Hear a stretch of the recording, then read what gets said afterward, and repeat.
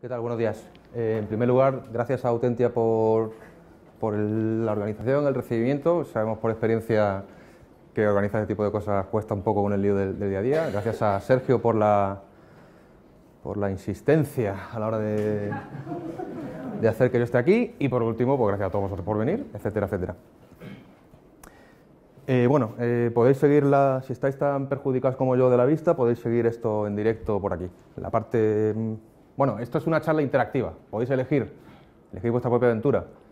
Puedo, puedo enrollarme un poco más con las slides y contar un poquito más de fundamentos y cosas tal, o podemos hacer una parte más de demo, taller, con código, cosas así. Elegid, elegid vuestra aventura, mi muerte. ¿Qué queréis? Debo decir que sois un gran público, pero quizás sois predecibles. Entonces, yo soy Juan Lupión, soy CTO de Cóctel, Pantulis, eh, buscadme por ahí y no me no voy a enrollar mucho más. Yo soy yo y mi circunstancia.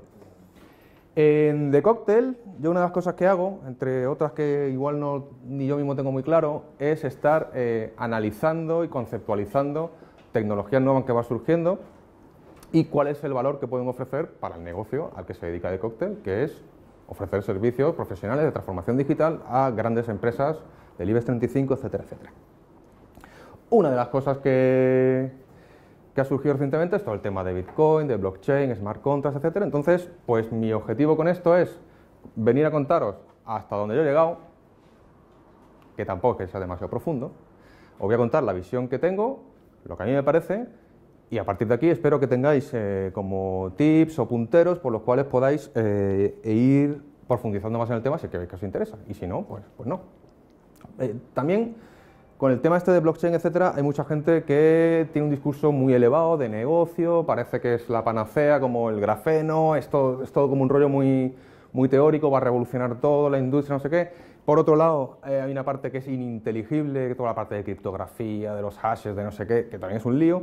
Y es complicadete moverse en un punto intermedio eh, sin, un- sin acabar o bien vendiendo fumadas o bien eh, contando cosas que nadie entiende. Entonces, yo aquí lo que os digo, que yo soy como Mayra, no conocéis a Mayra, pero yo no miento. Yo lo más que voy a decir es, esto no lo sé, o lo, incluso lo podemos buscar en Google, si me hacéis alguna pregunta luego, lo que sea. Entonces, no me voy a tratar de vender ninguna moto. Eh, cuando me meto en un territorio más, eh, más, lo- más locuno, pues lo diré. Y cuando veis cosas más técnicas, os pido que os fiéis de mí, o no. ¿Vale? Entonces, empezando con la parte de Bitcoin, ¿quién de vosotros tiene Bitcoins? ¿Qué tal? ¿Va- ¿Vais ganando o vais perdiendo? Alguno, alguno conozco que va perdiendo. Alguno conozco, alguno conozco que va perdiendo. Entonces, Bitcoin empieza como un medio de pago distribuido. Quiere decir que hace lo mismo que te hace PayPal, que te hace Visa, que te hace cualquier red de medio de pago que te permite comprar cosas de manera digital. Eso es una cosa. Y lo hace sin tener un agente central, que es todo el discurso que, que va alrededor de blockchain. Otra cosa que hace es una unidad de cuenta. Si os acordáis, que sois muy jóvenes no os acordaréis, pero antes del euro y antes, entre el euro y la peseta había el ECU, el European Currency Unit, es una unidad de cuenta, en el cual los bancos, antes de que entrara el euro, ya iban anotando entre ellos eh, el dinero que tenía la gente en lo que luego sería euro, que se llama ECUS. Tú no podías pagar cosas con ECUS, pero podías tener eh, movimientos de cuentas, etcétera, que lo hacían entre los bancos en ECUS. Pues esto es lo mismo, es decir, eh, realmente el Bitcoin, con toda la parafernalia que tiene, te permite también que tú acumules eh, Bitcoins, los muevas, las personas intercambien ese, ese activo digital que sirve para pagar y lo hagan de, de una manera en la que si yo a alguien le paso un Bitcoin, entendemos que hay una transacción de por medio y hay una transferencia de valor. Esta es una parte eh, muy importante, esta es probablemente la slide más importante de la charla, en la cual eh, se ve que esto de Bitcoin, etcétera, tiene que ver mucho con la tecnología y mucho con la esencia de lo que es el dinero. Y eso es complicado. De hecho, es lo que no entiendes del dinero con lo que no entiendes de la tecnología. Esta es, la dificultad de todo esto. Y por último, Bitcoin también es una red peer-to-peer, que de hecho está, si no recuerdo mal, está basada en la de Donkey, la red Calemlia, no sé qué historia, en la que pues, hay unos protocolos de comunicación peer-to-peer, que es de donde nace toda la parte de la descentralización. Y además, pues bueno, pues eh, Bitcoin pues lo que tiene es que, pues bueno, pues que sube, que baja, que ahora vale más, que ahora vale el doble, que ha bajado, que quien gana, que no, que el gobierno dice, que no sé quién, que esto, que lo otro. Es un lío. Yo personalmente de Bitcoin os deseo suerte los que tenéis Bitcoin, yo mi dinero lo tengo en el banco que baila menos. Por otro lado, Bitcoin, por su naturaleza descentralizada, eh, cancela la necesidad de un banco central. El Banco Central tiene una función muy importante que es emitir masa monetaria y con eso se controla la economía. Es la, única palanca que tienen los gobiernos para gestionar la economía. Imprimes billetes, sube el paro, eh, sube los precios, dejas de, eh, emitir billetes, sube los tipos de interés, etc. O sea, es, es, un lío. O sea, toda la economía se controla con el tipo de interés que es la masa monetaria que emite el Banco Central. Si eso te lo cargas, los gobiernos no pueden controlar la economía. Con lo cual, yo mi opinión es que Bitcoin será regulado, igual que nos han regulado las capas de cookies, igual que nos han regulado la GDPR, y algún, y algún día, si alguien se le pone, pondrá no puedes comprar, pagar, admitir Bitcoin como medio de pago. Y si lo haces, te multo. Y entonces Bitcoin dejará de ser tan relevante. Esa es mi opinión. La vuestra entiendo que la tendréis. Allá cada cual. Vale. Vamos a hacer una parte muy rápida de criptografía, porque todo esto de criptomonedas, blockchain, no sé qué, esto voy a ir más rápido para no enrollarme demasiado. ¿vale? Criptografía clave pública, es la, es la base de todo, el, de todo el blockchain. Recordad, o sea, imagino que aquí sois todos más o menos probadores, etcétera, os conectáis a servidores con SSH, ponéis eh, candados en los servidores web, criptografía clave pública, clave pública, clave privada. Eh, no hay una contraseña compartida entre nosotros, sino que mi contraseña está dividida en dos trozos, una parte pública, que la propago, la pongo en internet, la mando por correo, no sé qué, y otra privada que me quedo yo, que custodio con toda mi alma. Con mi clave pública, vosotros podréis cifrar un mensaje, mandármelo a mí, y yo con mi clave privada podré descifrar ese mensaje y saber lo que hay, solo yo.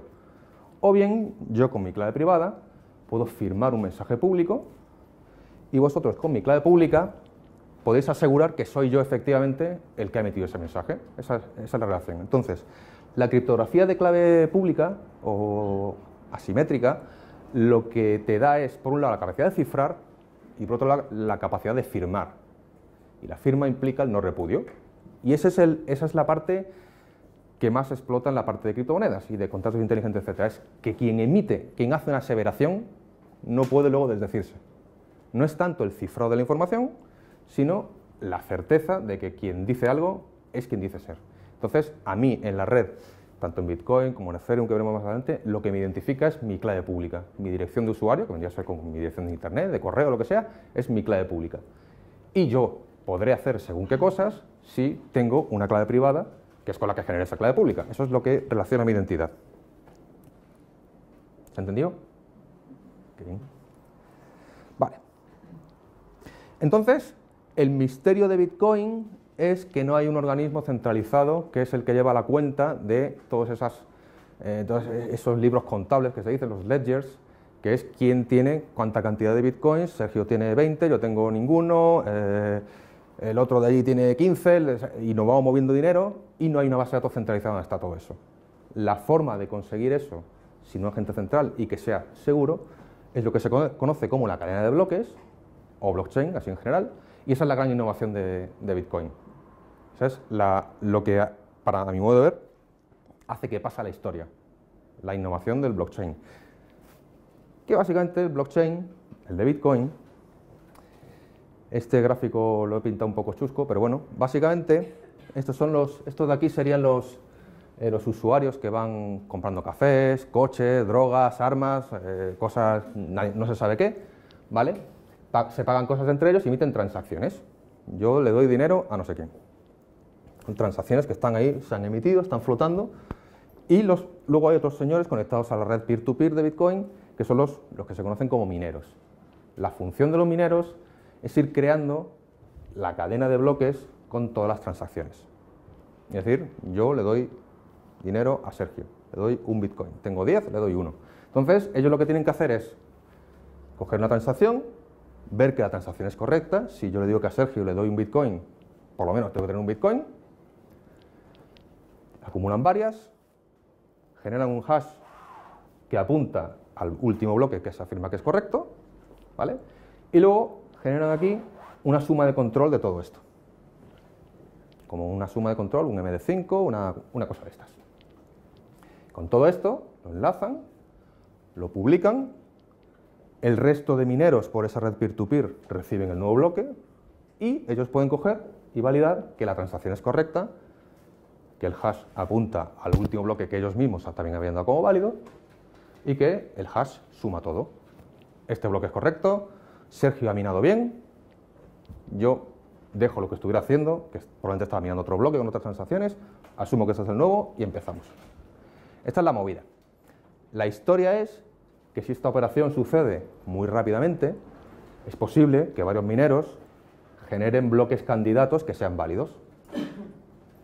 Porque a fin de cuentas aquí lo único que tengo que hacer es que la gente tiene fondos para moverlos, apuntar al último hash válido y una suma de control. Entonces la historia es que la suma de control tiene trampa. la trampa es que es un hash, es un hash cabrón. Os voy a poner un, ejemplo. Una suma de control, un hash es la, letra del NIF. Si yo os digo eh, mi DNI es el 3339733, podéis rápidamente calcular que la letra es la E. eso, es, una función de, un único número que es muy fácil de calcular. Pero si os pido, calculadme un DNI que termine en la letra E, ya tiene más, ya, más complicado. ir, ir en el contrario es más complejo. Y por otro lado, lo puedo complicar más. Puedo decir que termine en la E, porque todavía con la fórmula esta que calcula la letra, pues igual le podéis dar la vuelta y si sois muy listo, no sé si se puede, ¿eh? pero si sois, igual te pases un programa que vaya directo y que te lo genere. Pero si además digo que la suma de los números del DNI que me propongas tiene que sumar más de 15, ya está, ya, ya es todavía más complicado. Y se puede, o sea, la, la función inversa se puede complicar todo lo que quieras. Entonces, esto consiste en generar una suma de control de todo esto, cuyo número sea menor que un número que va cambiando según el número de segundos que han transcurrido del 70. Es decir, tienes que calcular un hash, pero el hash tiene además de todos los hashes posibles que son válidos para la transacción, tienes que ser capaz de pintarlo o encontrarlo que sea menor que cierto número. Y eso es una, es una, es una condición que hace que sea un problema duro. No tienes otra forma de encontrar este número mágico que quemando CPU. No hay, no hay otra forma viable. No es, no es posible. Entonces, lo que están haciendo los mineros continuamente es poniendo CPUs para ver si les toca la lotería, que además es una lotería compleja porque que tú encuentres, pruebes un hash, veas que no es válido, no te indica si el siguiente es el correcto o el anterior, si tienes que subir y tienes que bajar, es totalmente random. Y el espacio posible de soluciones es mm, infinito, con mayor que el número de átomos del universo y cosas así muy, locas. Entonces, lo único que puedes hacer aquí es probar, probar, probar, probar. Y esta gente compra hardware especializado solo para probar esos hashes, porque cuando tú minas un hash correcto, que cumple la condición, el resto de mineros tienen un problema equivalente a, ver si la letra del DNI es válida, que eso es fácil, pero el resto de mineros, en el momento en el que vean que uno de ellos ha emitido un hash que es válido, que tiene una prueba, una prueba de trabajo correcta, dejan lo que están haciendo y esto se convierte en el último bloque válido. Y por otro lado, el minero, el que eh, mina el bloque correcto, que encuentra esto, se apunta a una transacción en la que él saca bitcoins de la nada. La única forma de construir bitcoins, de acuñar bitcoins, es minando bloques. Y estos acumulan bitcoins que luego, por los vaginis, se lo van vendiendo a los exchanges, a los no sé quién, a la gente que a estos les cambia euros por bitcoins, etc. Y estos ganan pasta, su incentivo es ese. De esta forma es como tú consigues que, una, que un fichero distribuido tenga las anotaciones correctas. Porque luego es muy sencillo, a partir de esta estructura, se puede recorrer muy fácilmente el saldo o el balance que tiene un usuario concreto. Porque toda esta Perdón. Porque toda esta estructura de bloques se mapea luego en memoria con un DAG, un grafo no dirigido, etcétera, que luego hace que sea muy sencillo encontrar el balance de, una persona. Por eso es muy fácil validar que las transacciones sean fáciles. Es decir, si yo saber que yo tengo 10, 10 bitcoins y, tengo para darle a Sergio. Entonces, lo que decía, el hecho de que sea muy complicado calcular el hash, este de la muerte, el proof of work, el nonce, hace que no haya bloques candidatos a la vez, que sería un problema, porque es gente que se ha currado, ha encontrado una solución correcta al bloque, ha validado que las transacciones son válidas y legítimamente podrían decir, oye, ¿qué hay de lo mío? Pero solo uno puede haber, solamente puede haber una cadena de bloques correcta. Por eso se hace que sea muy difícil. Se hace que sea difícil tanto como que se supone que se mina un bloque cada 20 minutos, 15, 20, 10, depende. Y la cadena de bloques que es correcta, en el caso de que hubiera divergencia, de que hubiera un, agente malévolo que está ahí tratando de insertar bloques, eh, la, cadena más, la cadena correcta es la que tiene más bloques. Es decir, una vez que un bloque ha quedado minado, pero te vuelvo para atrás, una vez que un bloque está por aquí, ya es imposible cambiarlo, porque si cambiaras esto, cambiaría el hash, cambiaría el hash y el último bloque, bueno, el último bloque correcto, ya no machearía con el que has intentado cambiar. Cuantos más bloques está tu transacción, más cierta es, más difícil es de cambiar. No se puede cambiar el blockchain, porque entonces el último bloque correcto, su hash no machearía, porque ha cambiado todo. Esto se, entiende, esto es la slide más importante de la, de la charla. Y es seguro porque si tú quisieras insertar un bloque para gastar dos veces el dinero o algo así, tendrías que tener más potencia de CPU que por lo menos la mitad de los nodos de la red todos los que están conectados, todos los mineros que hay en el mundo, todas las granjas que hay en China, en Venezuela, no sé qué, en Rusia, no sé cuánto, no sé qué, tú tendrías que, para tú vencer a toda esa potencia de cálculo combinada, tendrías que ser capaz de generar bloques correctos más rápido que ellos.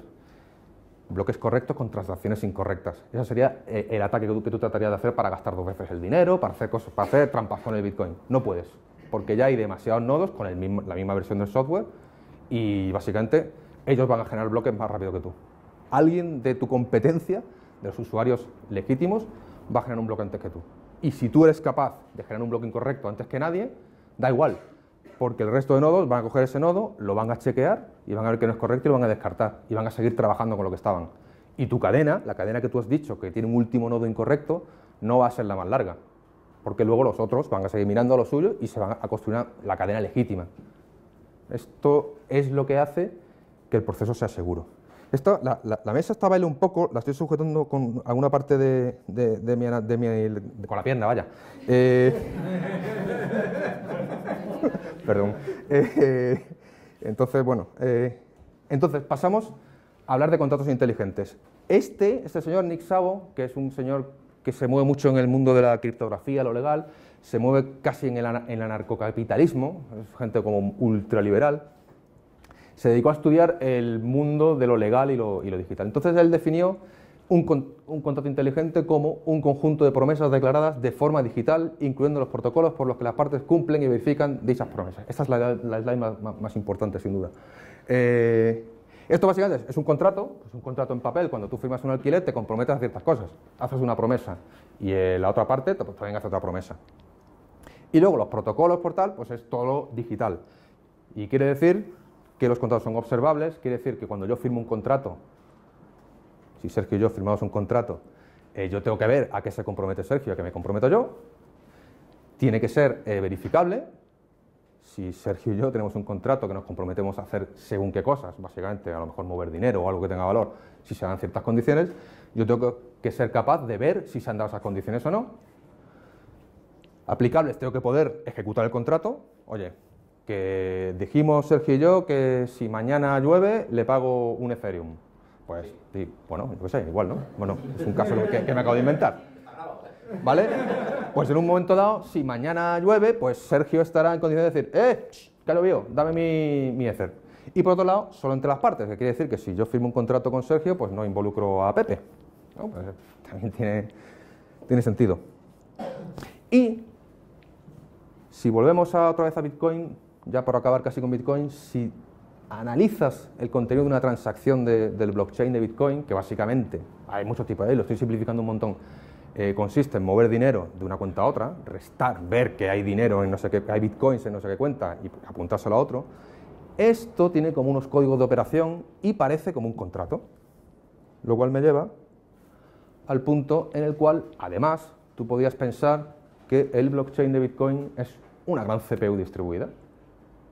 Entonces nos vamos acercando al, punto clave de la, charla. Es decir, cuando se mina un bloque en el cual hay una transacción por el cual yo le cedo a Sergio 25 milibitcoins, eh, cuando el bloque se mina, se ha ejecutado un ciclo de esa CPU y se ha actualizado el estado de la memoria de, ese gran programa distribuido. Y entonces de eso es de lo que va Ethereum, que supongo que algunos sabréis volar, que tal. Ethereum es la idea de utilizar blockchain para ejecutar código arbitrario, cualquier código en un lenguaje Turing completo. No solo operaciones del tipo yo le muevo dinero a Sergio, sino eh, cualquier cosa. Absolutamente cualquier cosa porque el lenguaje me permite programar cualquier cosa. Y esto de cualquier cosa se traduce en que si en el blockchain de bitcoins yo, todas las transacciones consistían en mover dinero, mover bitcoins, en el blockchain de Ethereum tienes, por supuesto, la moneda nativa, que es el Ether, ¿vale? con sus movimientos, pero hay una parte adicional que es el contrato. Puedo crear contratos con código arbitrario y luego puedo invocarlos, hacer que se apliquen, si se dan las condiciones para ello. Y este código se va a ejecutar.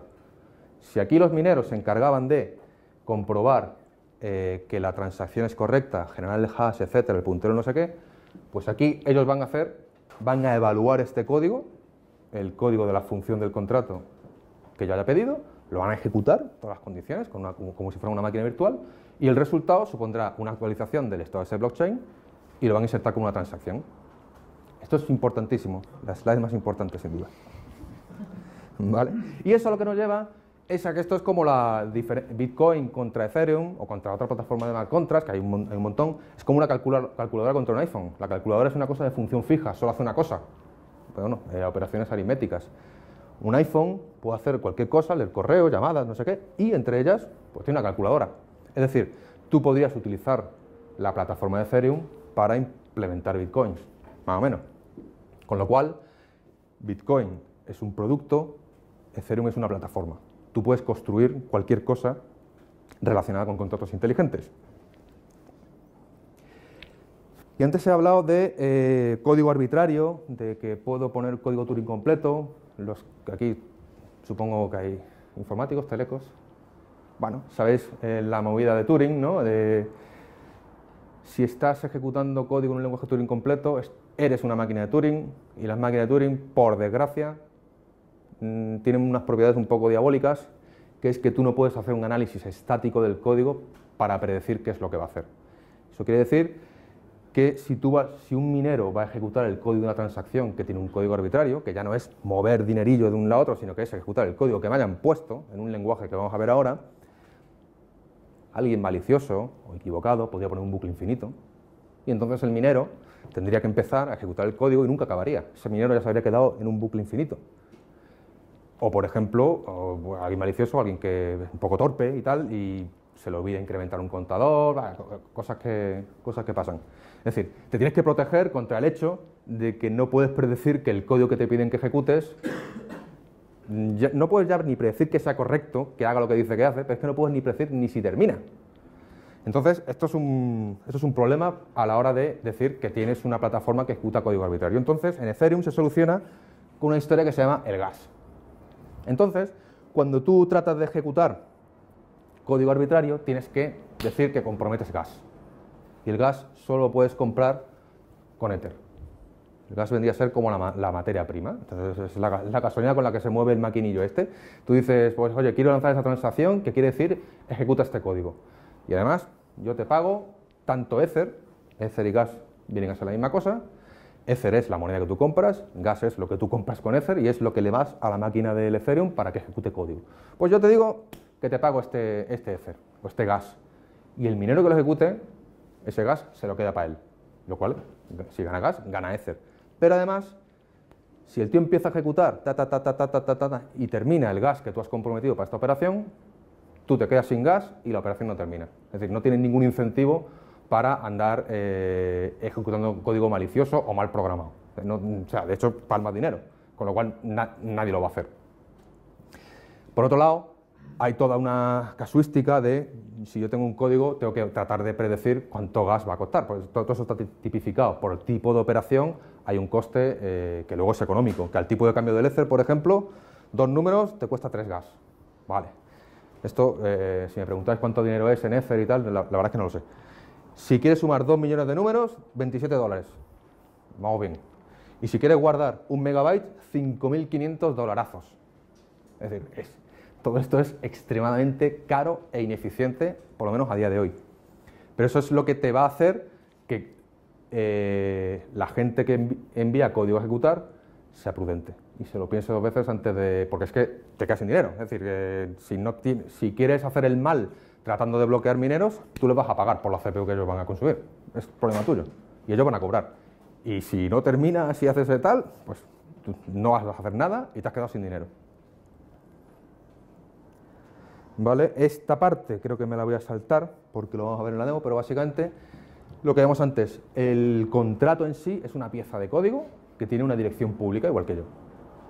Y de hecho el, el contrato tiene hasta su propio almacenamiento donde él puede ir guardando variables temporales, etcétera, variables estáticas, tablas, variables públicas, tiene su propio almacenamiento. Y luego el locurón ya del todo es que los contratos se pueden invocar entre sí como si fueran personas hay un rollo de que puedes incluso tener contratos autónomos que ellos van decidiendo qué hacen con otros contratos. Esta ya es una parte loca, como decía. Vale, entonces vamos a ver el primer contrato que os voy a presentar, las Loopy Coins. ¿Vale? Esto es, este, es, este es el lenguaje que se llama Solidity, Solidity, la versión 0.40, que es eh, el lenguaje con el que se probaban contratos inteligentes en Ethereum. Si veis, eh, esto es un poco JavaScript. De hecho es JavaScript, vaya. O sea, con alguna cosilla más. Tú aquí defines el contrato, con el contrato define básicamente una clase y luego vas a instanciar el contrato que es eh, una instancia particular de ese contrato. Quiere decir, cuando uno ve los contratos de alquiler, estos son iguales. todos, los, todos, los, caseros copipastean ahí los, los estos de una para otro. Pero luego cuando se firma, lo firmo eh, yo con quien firmo el contrato. Es decir, hay una, hay una clase que es el contrato que todo el mundo va copy-pasteando y luego la instancia de ese contrato que es la que yo firmo con, con mi casero. Pues esto es igual. Tú con esto declaras el contrato y luego lo instanciarás tantas veces como quieras. Tantas, podrás tener tantas instancias del contrato como necesites. Igual solo tienes una. Esto puede ser. Vale. El contrato tiene un constructor, ¿vale? donde inicializas cosas. En este caso lo que decimos es que el dueño, el minter, el acuñador, es el tío que crea esta instancia del contrato. ¿vale? y luego el acuñador puede acuñar, que básicamente es decir, primero, si el que invoca esta, función del contrato no es el que lo ha creado, no hago nada, porque solo el que ha creado el contrato puede acuñar Loopy Coins, en este caso sería yo. Y lo que vas a hacer es acuñar moneda para dársela a otra persona en una cantidad. Y una vez que esa persona reciba esa cantidad, se actualiza la variable de balances que es como un hash que dice, para esta dirección, para esta persona, tiene esta cantidad de loopy coins. Ya no es Ether, ya no es Bitcoin, ya, esto es, una historia que me estoy inventando yo. Y por último, una vez que un usuario tiene aquí un balance, se lo puede pasar a otro. ¿Vale? Pero solo lo puedo hacer, lógicamente, el dueño de esa cantidad. Si no, si yo trato de mover el dinero de otra persona, pues este contrato no, se va a ejecutar. ¿Se entiende? Eso es, muy, es la más importante. ¿Vale? Y entonces vamos a pasar a la parte de demo, que lo que vamos a hacer es muy sencillo, ¿eh? tampoco tiene mucha, mucha historia. Eh, no vamos a explicar el lenguaje Solidity más allá de lo que hemos visto, porque tampoco, yo tampoco me lo sé demasiado, pero sí vamos a ver cómo se monta un blockchain privado y cómo se despliega este contrato y cómo se invocan. Vamos a ver y vamos a poner un, minero allí a hacer cosas. Entonces, para hacer esto, básicamente, os, añadí los repos, en Ubuntu es apt no sé qué, no sé cuántos, este es el compilador de Solidity y esto es el nodo de Ethereum, ese sería el minero, o el, nodo que crea, el que gestiona el, blockchain. Si estáis en Mac es Homebrew, etcétera, etcétera, etcétera. En Windows, no sé. Vale. Y esto era para una demo de, otro evento donde me lié más de la cuenta y tenía dos nodos que conectaba en modo peer-to-peer, -peer, lanzaba las transacciones, otros minaban, no sé qué. Aquí, para no liarme mucho la vida, es una única cosa. Es decir, el proceso de minado y el proceso de gestión del contrato están en la misma instancia. Y ahora vamos a la parte, la parte que habéis reclamado. Vamos a ver. La historia es que yo tengo que inicializar mi blockchain con un fichero y el fichero se llama el fichero Génesis. Es el bloque Génesis. Este es el primer bloque de, mi blockchain, el que me voy a crear yo para mí. Mi blockchain de Ethereum privado, que tiene varios parámetros diferentes, algunos de los cuales se entienden y otros no. Eh, esto es eh, la network o la cadena, es decir, que es como un, como un metacanal que hay sobre un, blockchain físico, es decir, tú puedes tener diferentes blockchains lógicas sobre una infraestructura eh, más física de bloques. En este caso, me invento esta, que es el año en que yo nací, porque eh, si pones el 1 o el 2 o lo deja por defecto, el nodo de Ethereum dice, no, red 1 me tengo que conectar a los nodos públicos y empiezo a hacer transacciones con ellos y es un, es un desastre. Por tanto, lo que tengo que hacer es inventarme uno, es como los puertos TCP, o sea, hay unos que están registrados y otros que utilizas tú lo que quieras. Pues este me he inventado este. Luego, por otro lado, tiene que haber eh, Coinbase, por ejemplo, esa es la dirección a la que se manda el Ether que va minando el minero. Cuando él va ganando dinero por minar cosas, se manda a esta dirección. Eh, Esto me da igual. Y por último, tenemos la dificultad, que es lo que hace, es un parámetro que hace más o menos difícil el proceso de minado. En este caso está bajado para que se vea en tiempo de demo. Y por último, esta parte de aquí, que es fundamental, eh, simplemente es que tiene que haber una base monetaria inicial, si no nadie puede hacer nada con este blockchain.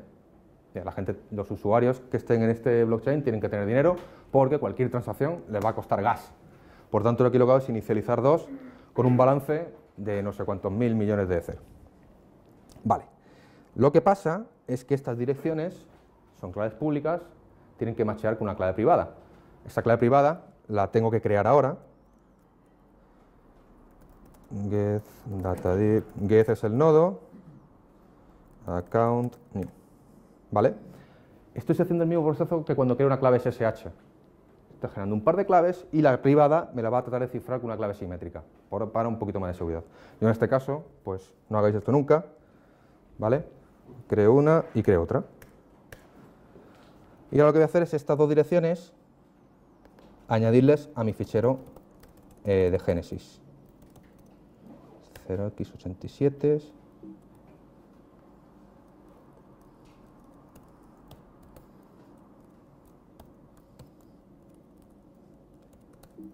Vale, y la otra es 0x7f.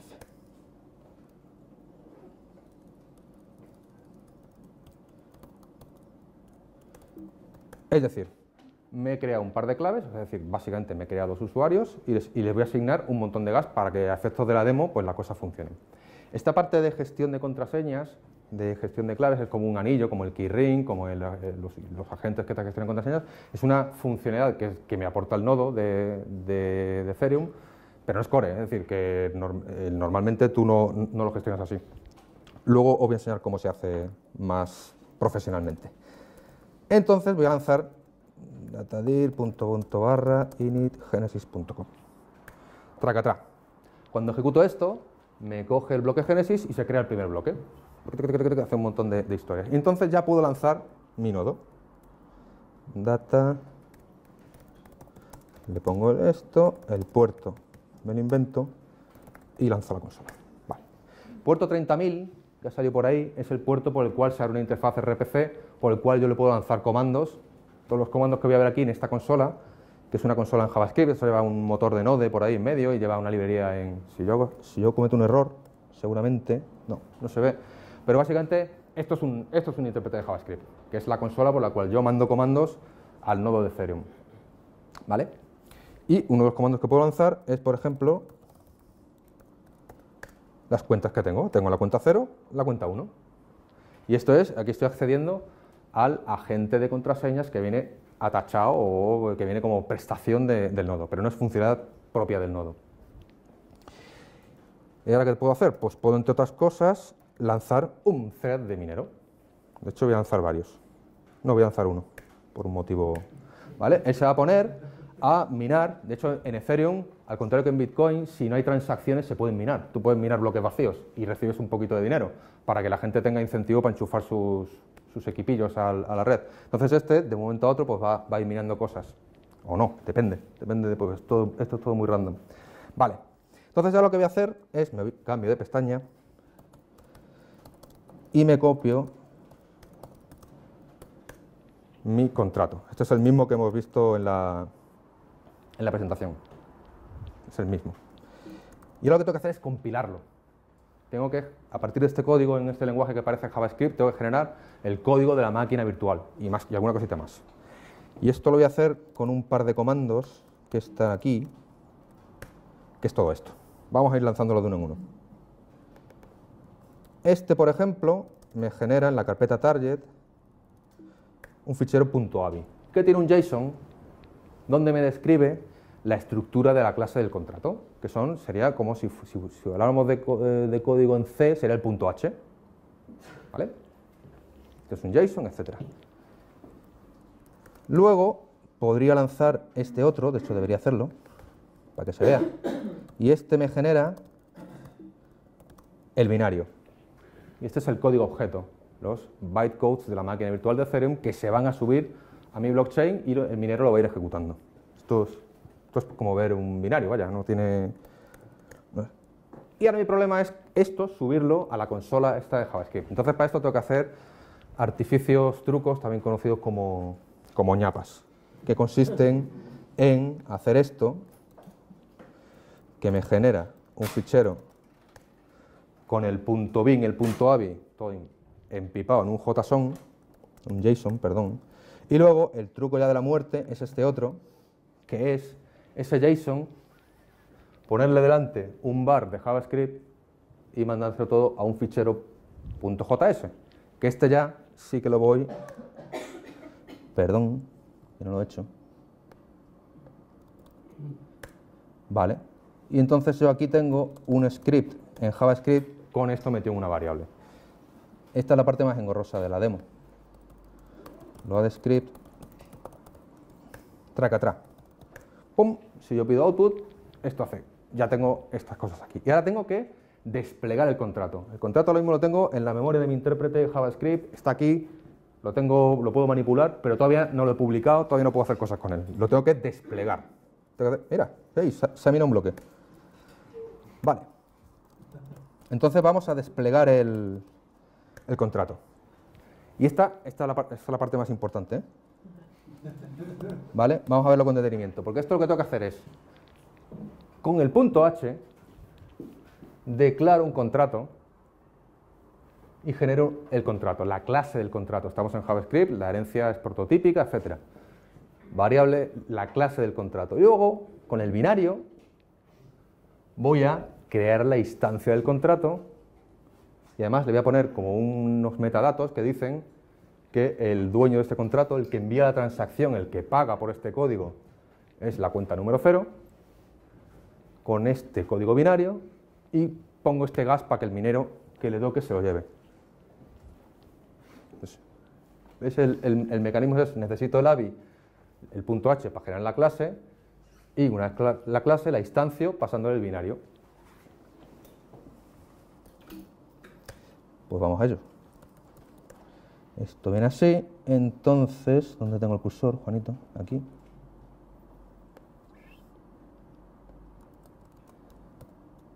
Pum, pum, pum. Tengo la variable ya por aquí. Y ahora voy a lanzar la transacción.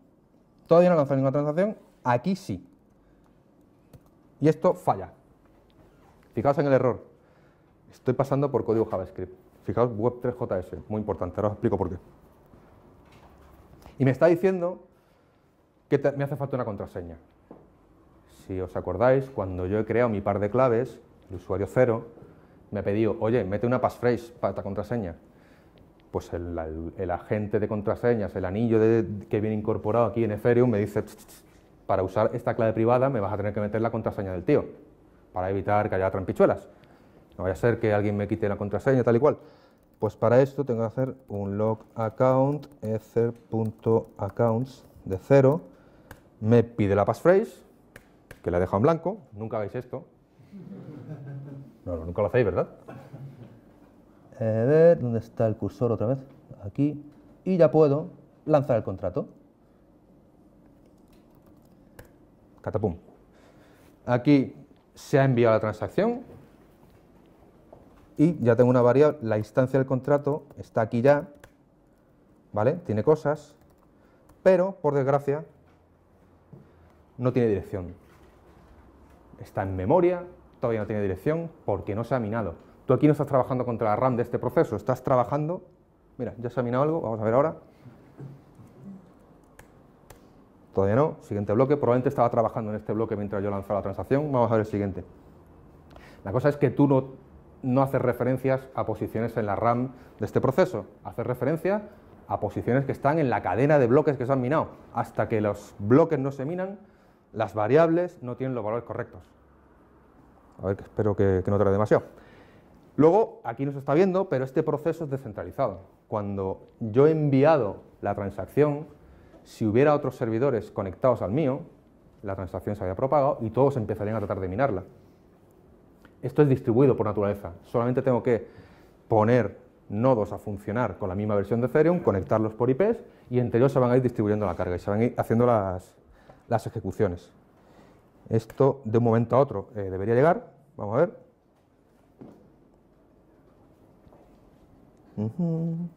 Está tardando demasiado. Voy a meterle más candela. Venga, tres cores ahí a, a minar. A ver, de un momento a otro saldrá la transacción. Y entonces lo que veremos será que el contrato tiene dirección. Cuando el contrato tiene, dirección, ya puedo invocarlo. Ya puedo hacer cosas con él. ¿Mm? ¿Todavía no está? Bueno, ¿qué tal el día? ¿Vale? Eh, os, os, puedo ir anticipando cosas que vienen después. Esto que estamos viendo es súper básico, súper low level. Estamos desplegando cosas por consola, con, o sea, sería lo mismo que tratar de construir aplicaciones a base de, de de insert, de join, no sé qué. Normalmente cuando hacéis webs, los que webs, eh, no atacáis directamente a la base de datos, uséis mapeadores, objetos relacionales, es lo normal, ¿no? Para, ir un poquito más rápido. Luego hay herramientas que, te, que todo esto tú ya no, ni lo hueles. En este contrato, ¿veis? El contrato ha sido minado, ya tiene dirección, ya lo puedo invocar.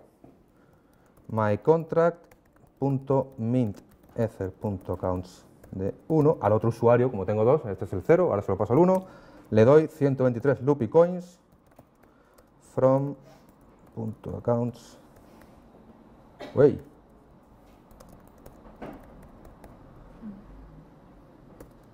Vale. Vale. He minado, he acuñado 123 loopy coins y se los paso al otro usuario. Y cuando este, esta transacción también se mine, he vuelto a pagar gas, yo puedo consultar balance, el balance, la variable estática de balance para la cuenta 1 y me dirá cuando se mine, cuando se mine, que el usuario 1 tiene 123 loopy coins, debería, eh, si no la demos fallar. Eh, la cosa es que esto va extremadamente lento, a propósito. ¿Cómo te enteras si esto ha sido minado o no? Si la transacción que tú has lanzado se ha minado o no. Aquí no lo vemos porque en la consola de JavaScript ya se me escapa un poco cómo hacer esto, pero tú tienes callbacks. Puedes poner una, una función JavaScript que se invoca cuando el bloque correspondiente a esa transacción ha sido minado. Entonces tú te enteras que la transacción ya está operativa. O igual ha fallado porque no has puesto suficiente gas o porque ha fallado algún permiso, se ha olvidado no sé qué. Ahí está. Se ha minado el bloque. El usuario 1 tiene en su balance para esta instancia del contrato 123 loopy coins. Y de hecho, otra que podría hacer ahora el usuario 1 podría enviarle al otro, al que acuñó la moneda, por cierto, 20 from accounts de 1. ¿Podría decirme qué va a pasar cuando lance esto? Pues que me da otro error, el mismo, porque ahora estoy tratando de firmar con otra cuenta, ahora es otro usuario el que está haciendo esto. Tendría que desbloquear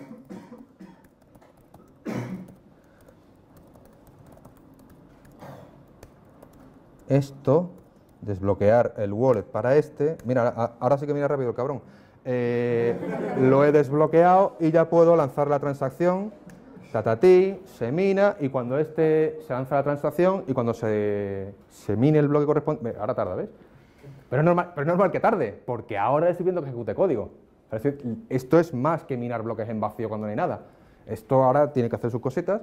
Y bueno, cuando se mina esto, pues probablemente debería hacer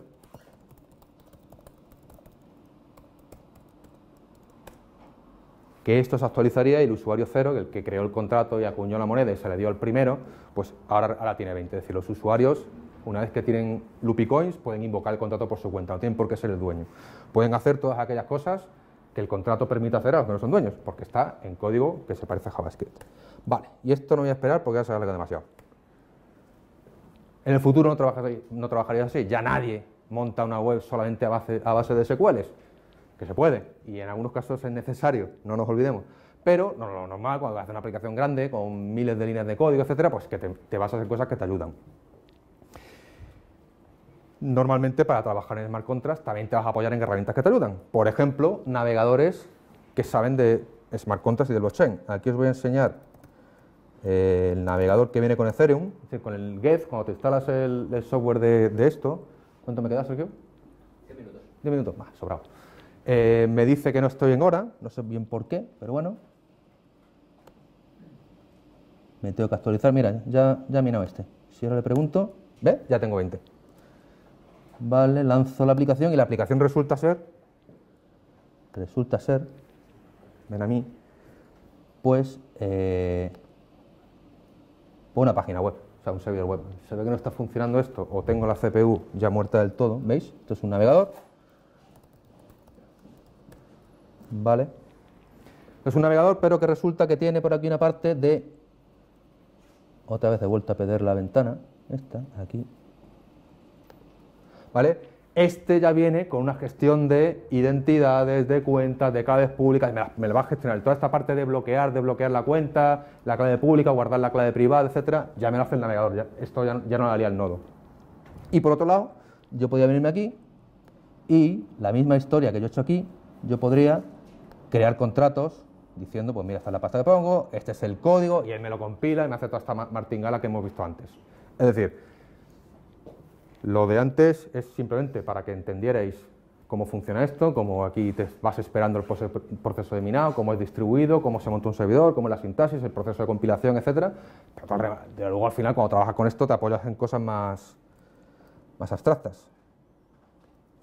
Por ejemplo, hay otros navegadores, este es Brave, que es uno que tiene un bloqueador de publicidad que es brutal, pero el tío me bloquea toda la publicidad menos lo de la gente que le pague a él, y entonces él, la gente que él cobra, a ti te paga en, tu wallet de Ethereum. Está, bien pensado, ¿eh? Está bien pensado. Y luego puedes a tu, a tu Chrome, a tu Safari, a tu Firefox, no sé qué, ponerle un plugin, por ejemplo Metamask, que te implementa esta parte que veíamos que traía el navegador Mist, una parte de wallet para que tengas tus contraseñas, tus clave pública, tu clave privada, para puedas lanzar contratos, etc. Y esto se hace porque, si habéis visto antes el error que daba, aquí hay una librería que es muy importante, la librería más importante de la charla, que es web3.js. Esta es una librería, la librería que implementa la API RPC del nodo de Ethereum. Es decir, lo que te hace es que tú llamas a la librería web3.js con JavaScript que se puede invocar desde el navegador sin ningún problema y esto es capaz de mandar paquetes, eh, peticiones HTTP a la API RESTful que tiene el nodo abierta, que es la que yo ponía en el puerto 30.000. Luego vais a tener framework de desarrollo, no vais a escribir los contratos así como así. Igual que uno usa, pues yo qué sé, Symfony, Rails, Elixir, no eh, Phoenix, no sé qué, pues tienes eh, frameworks como Truffle, como OpenZeppelin, que te permite organizar el código, tener en cuenta que los contratos probablemente los vas a querer ir versionando, que tienes configuraciones, entornos diferentes, o sea, todo lo que os da cualquier framework de la vida, de la vida web, pues esto ya existe. Para mi desgracia, o por fortuna para la vuestra, todo esto es muy node. Entonces, bueno. Es decir, no, pero, pero que está chulo. O sea, te lo instalas, Traffic init, como el que hace un Rails init, ala, tu esqueleto, empieza a trabajar. Vas a trabajar de una forma más sencilla y vas a tener eh, capacidades que tú solo pues, te va a costar, es más, y lo, vas a hacer mal. Lo vas a hacer mal porque vas a probar lo que ya está inventado. Lo que yo he probado antes, el Lupicoin este, es lo que se conoce como un token. Es como los garbanzos que se pasan los abueletes jugando al bingo. Y vale lo que valga el garbanzo. Entonces, lo que, lo que me está dando a mí el Lupicoin es que si yo le doy tres garbanzos a, Sergio, pues Sergio mañana no va, a venir con cinco, porque mis garbanzos están firmados. Él, no, él, va a venir con tres garbanzos. Y además, con esos tres garbanzos, yo no voy a poder decir que no son los míos, porque llevan mi firma. Y ese es el truco del token cualquier cosa que queramos intercambiar, que digamos que tiene valor, se puede plasmar en el, smart contract. Y los tokens son cosas serias. Si, tienes un bug en un token, puedes tener un problema, pues te estás comprometiendo a según qué cosas. Digamos que hay también eh, guías de estilo, eh, formas o metodologías de construir esos tokens. Pues tienen que tener ciertos métodos, tienen que garantizar que solamente cierta gente con ciertos privilegios puede hacer según qué cosas. Hay protocolos, librerías open source que implementan tokens. Si vais a implementar un token, no os vayáis a los canales de chatter de, de chatter, de chat de Guter o de estos de Ethereum a preguntar cómo monto un token. Hay código open source ya para hacer eso. Si vais a los canales de Ethereum, de Newbies y todo esto, da un poco de miedo. Hay gente montando contratos sin tener muy claro lo que está haciendo. O sea, que puedo, puedo ser yo, de eso yo iba a preguntar cosas. Pero que yo iba a preguntar porque estaba aprendiendo. Es que había gente que estaba preguntando porque íbamos a, a pedir dinero por lo que estaban haciendo. Luego, otra parte, nosotros hemos ejercitado esta parte de aquí, hemos hecho el blockchain, hemos, desde el terminal, a partir de la consola de Node, hemos invocado a través de Web3, hemos hecho cosas con, un contrato, hemos invocado, ha funcionado esto y lo otro, aparentemente, eh, pero tú lo podías invocar desde el navegador. Si tú a tu navegador le calzas aquí un framework SPA, un React, un Angular, la librería Web3JS, pues podrías enchufar y mandar órdenes a contratos que están desplegados en una red de Ethereum en la que te puedas conectar. Puede ser la red pública o una red privada con un nodo que me he creado yo como, como aquí en esta demo. Y si lo miráis así, realmente esa es la visión fumada total de los creadores de Ethereum. Esto es como un gran ordenador mundial distribuido, donde lo que dicen ellos es que en el futuro no harán falta bases de datos, porque estarán aquí, no harán falta CPUs, más que para ejecutar el proceso de minado, porque el código estará aquí en el blockchain, no harán falta discos duros más que para montar sistemas de ficheros distribuidos, como IPFS, que es el que usaron en las elecciones de Cataluña para publicar el censo y cosas de estas. Y con ese navegador tienes el ordenador mundial, el que nunca se cae, el que va a estar disponible para siempre, el que es carísimo de usar. ¿Vale? O sea, tú podías programarte con esto un sistema de votación, un blog, un lo que lo único es que te va a dejar un montón de dinero. Pero a cambio, lo que tendrías es la garantía de que siempre que hubiera nodos conectados a la red de Ethereum, tu aplicación funciona. Es algo que nosotros, los que ponemos cosas en producción, eh, garantizar que dentro de cuatro años van a seguir estando ahí, que no hay vulnerabilidades de kernel, que no tienes que actualizar no sé qué, no sé cuánto, eh, está un poquito mal. La infraestructura a veces se rompen cosas, se cae, no sé qué. Esto en teoría, en teoría, no. Y esa es la, gran visión de la gente que ha montado Ethereum, que es si esto se cumple y yo me convierto en la plataforma por la que se entregan aplicaciones distribuidas en el mundo mundial, el Ether va a ser la bomba, yo me voy a hacer millonario, etcétera. Ya os dejo a vuestro criterio si esto tiene sentido o no. Para mí yo creo que entre medias, pero bueno. Blockchains públicos, está la red de Ethereum pública, la red que, a la que tú te conectas desde cualquier nodo, y están las privadas, las que me monto yo eh, con Sergio eh, para que hagamos nuestros trapis. En el caso de que Sergio y yo nos montemos una red de Ethereum con entre él y yo y nos fiamos más o menos, no nos fiamos mucho porque tenemos, queremos usar blockchain pero nos fiamos lo suficiente y no hay más gente por ahí, pues podemos hacer que la, complejidad de minado sea menor. Porque bueno, total, nos fiamos a medias. Esto, lo hacen los, los bancos entre ellos. Usos, usos variables, y aquí la parte muy de fumadas, ¿no? Tiene sentido siempre y cuando tú quieras descentralizar algo, algún proceso, una cosa de la vida real, que por definición está centralizada porque alguien tiene que dar fe de no sé qué. Y todo ese, todo ese proceso de dar fe de algo conlleva un papeleo.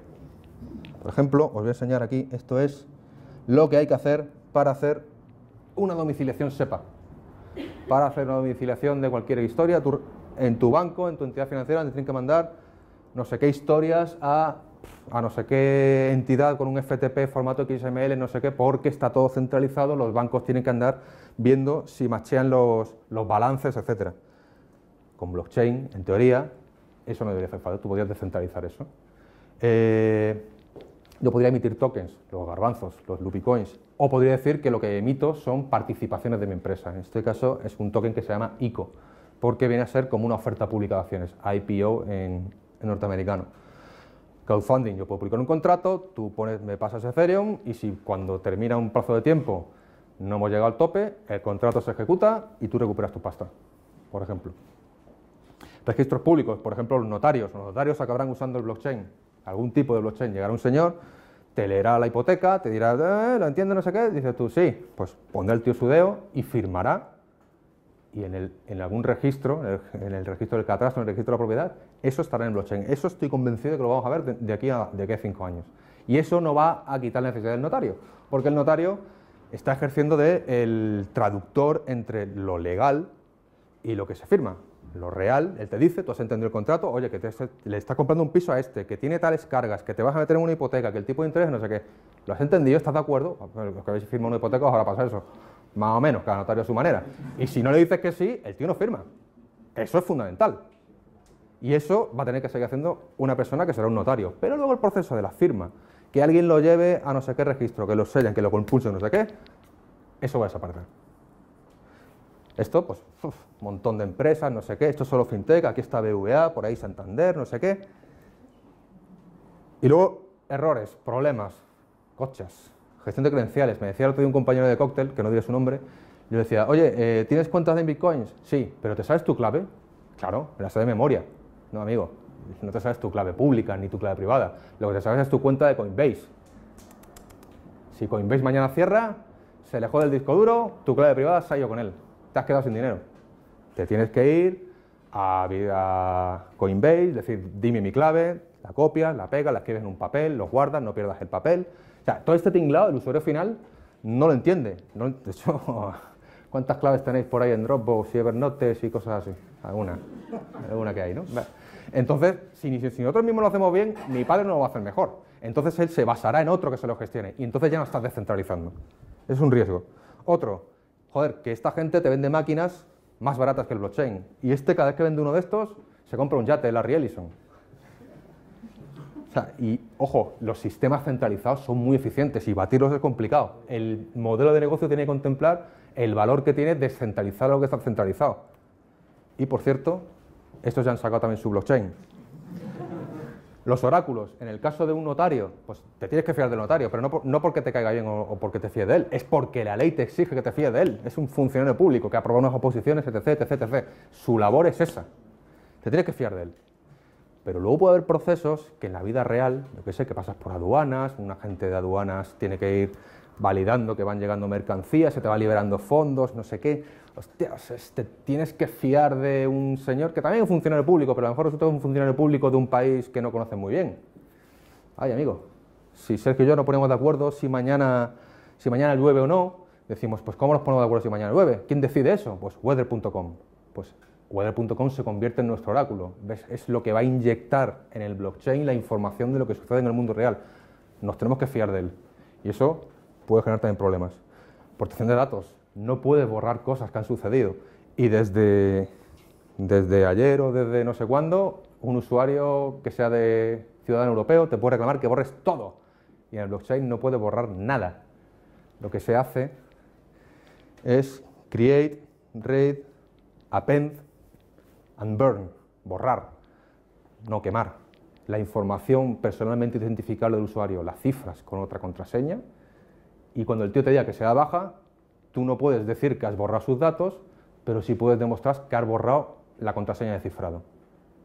Y eso está por ver si vale, porque es como decir que para borrar los datos de un tío meto el disco duro en un barco y lo hundo. Sí, sí, es decir, no es recuperable. Pero quién sabe, pero quién sabe. Ya acabando ya, bugs. Si esto es código, ¿qué puede pasar? Pues puede pasarlo con una empresa que se presentaba como el banco de las criptomonedas, que captaron, no sé si era medio millón de euros en Ether y todo se iba moviendo a una cuenta, una dirección pública, donde se les olvidó poner las comillas a la cadena. Las comillas de JavaScript. Están pasándolo a una dirección que aparentemente parece la dirección buena, pero no lo es como no tienes la clave privada que marcha con esa dirección pública, ese dinero está en raticulín, o sea, ya no lo puede recuperar nadie. Entonces los señores pues llegarán sus clientes, lo que le pusieron dinero, que es de lo mío. Y entonces dicen, no, es que mi proveedor de tecnología... No, no, no, no. Si, si a mí el Santander no me paga la nómina, yo no voy a quejar al disco de IBM, o sea, yo voy a ir al señor de Santander. No soy cliente del Santander, pero bueno, podría serlo, es el caso, ¿no? De hecho, eh, cuidadito con lo que se hace con esto. El código de un contrato inteligente es software, por tanto tiene que estar sujeto a procedimientos de control de calidad. Que en este caso de la empresa de la que hablamos era como la F5. Joder, a la primera transacción y ves que la pasta que te llega la controlas. O sea, que no, es que haga falta una cosa muy sofisticada. Le pagaron a no sé qué americano, a Consensus, que vio el código del contrato y dijo, esto está de puta madre, esto, este contrato hace lo que tiene que hacer, te lo verifico. Pero eh, tuve en cuenta que el proceso de despliegue se te van unas comillas, estos scripts que yo he visto, que hemos visto ahí de compila, de ploya, no sé cuántos, como se te van unas comillas, adiós que te vaya bien. Y ya para cerrar, yo, eh, yo creo que esto del blockchain, los contratos inteligentes, va a tener mucho futuro, especialmente en el mundo de lo financiero, de la banca, etcétera, pero pensad que estamos en esta época, en la época en las que de las válvulas de vacío. va a haber cambios, probablemente a lo mejor Ethereum no es el bueno, a lo mejor aparece otro, a lo mejor eh, se construyen capas sobre Ethereum que hacen más cosas, no se sabe. Pero esta es una nueva rama del mundo de la ingeniería, de la informática, de la tecnología, que va a generar nuevas oportunidades de negocio, por tanto, nuevas necesidades de personal cualificado para, para aprovecharlas. Y como estáis viendo, JavaScript, Node, eh, no es una tecnología marciana. Por tanto, yo creo que a los que os interese y queráis que esto tiene sentido, que no me estoy inventando una moto muy gorda, pues echarle, echarle un vistazo a todo esto. Eh, en Decoste no es que estemos de, liquidaciones, esta es la URL de ofertas de empleo, contratamos todo tipo de proveedores, de programadores, de Java, de PHP, de Ruby, de arquitectos, sistemas, lo que sea. O sea, ya sabéis. Pues muchas gracias.